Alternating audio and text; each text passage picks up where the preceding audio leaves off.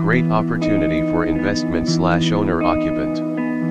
Beautiful 2 unit, 2 story duplex. Each unit with 2 bed 2 bath. Spacious floor plan with stunning master bedroom with ensuite.